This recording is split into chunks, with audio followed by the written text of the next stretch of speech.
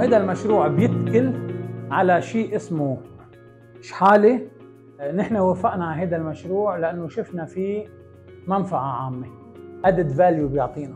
يعني هال résidu اللي بده يبقى عندك اللي هو 70% مش عم بيفرز اللي فيه منه قصن هذا عم بيعالجه عم بيعالجه تيطلع منه سواد وهالسواد بيروح للزراعة بفيد الزراعيين. وهذا السواد هو grade A عم بيكون.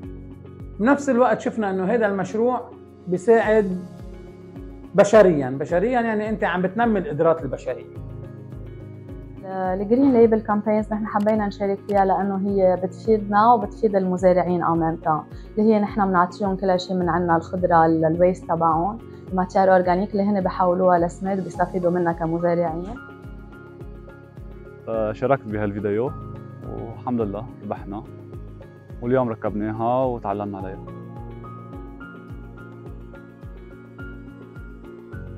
وأنا بحب الزراعه كثير يعني وبحب ضلي بمجال ال organic يعني وما فوت بقصص كيماويات وهيك فحبيت إنه فكره كومبوست شيء عم نكبه نستفيد منه بالأرض. ال composter هو آه، شغلته يحول كل شيء آه، زبالة عضوية اللي بتطلع عنا من البيوت لكومبوست.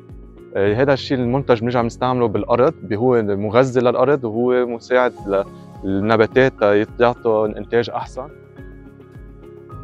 كنا قاعدين واجت مرة قطعت الجمعية تبع رينيه معوض نزلتنا برميل كرمال نفرز بين ال organic والمواد الحادة.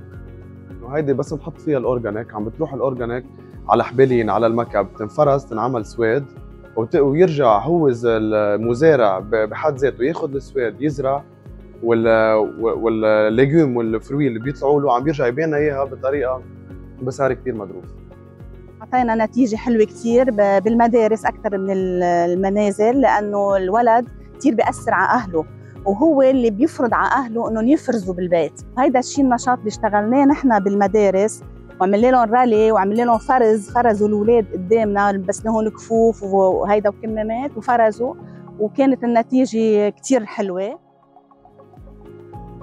ومن أهم الرسائل يلي بتسعى لتحقيقها مؤسسة رونيه معوض هو المحافظة على البيئة والتنمية المستدامة وخلق فرص عمل تيبقى اللبناني بأرضه.